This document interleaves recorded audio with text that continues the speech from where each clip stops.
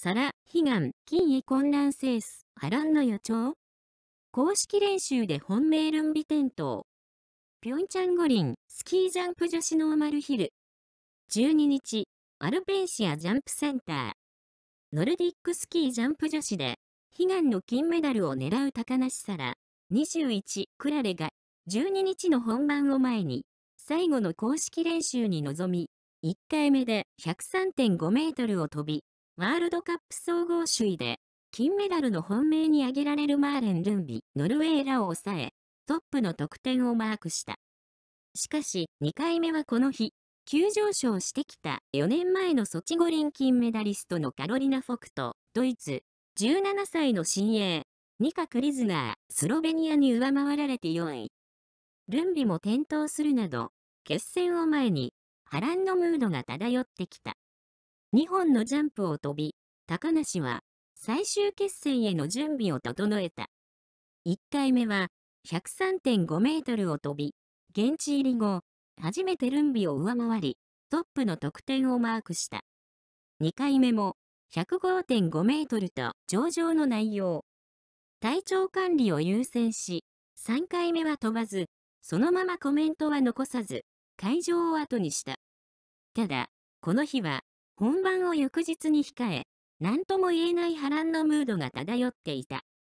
金メダル大本命ルンビは、2回目で、この日の最長不当となる111メートルの大ジャンプを見せたが、着地直後に転倒。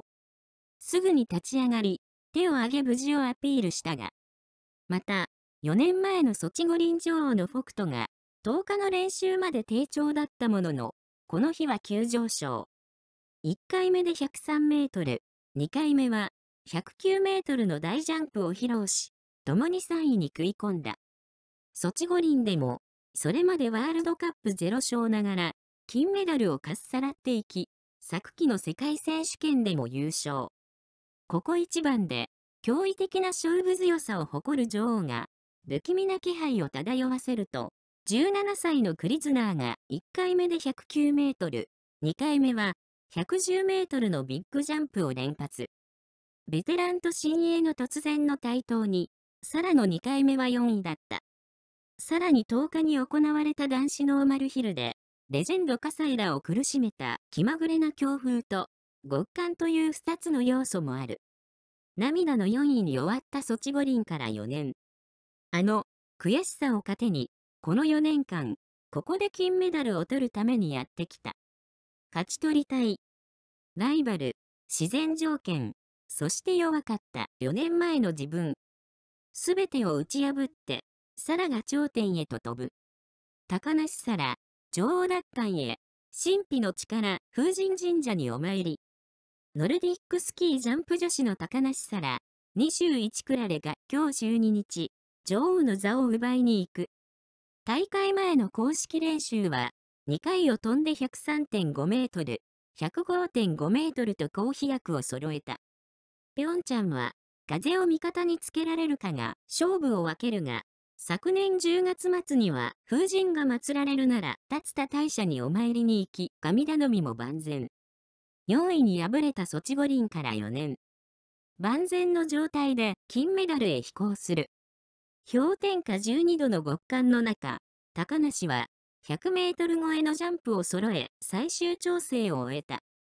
1回目に103.5メートルで、ライバルのルンビ、ノルウェーを50センチ上回ると、2回目は105.5メートルと決戦へ、勢いをつけるアーチを夜空にかけた。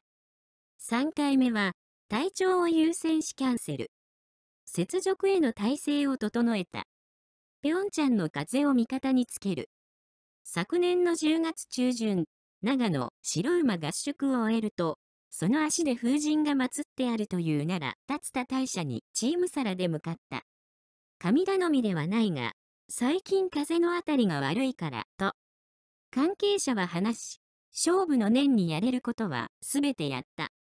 同大社には、ウィンドサーフィン、ヨットの選手も足を運ぶほどご利益があるという。風が目まぐるしく変わるぴょんちゃんでは、風を攻略することが鍵になるが、宮司から風と書いてもらった色紙を持ち歩き、お守りにしている。本番でも神風が後押ししてくれるはずだ。宮司さんに、その時に吹いた風が自分に必要な風と言われたという。信じる者は救われる。高梨に必要な風がきっと吹く。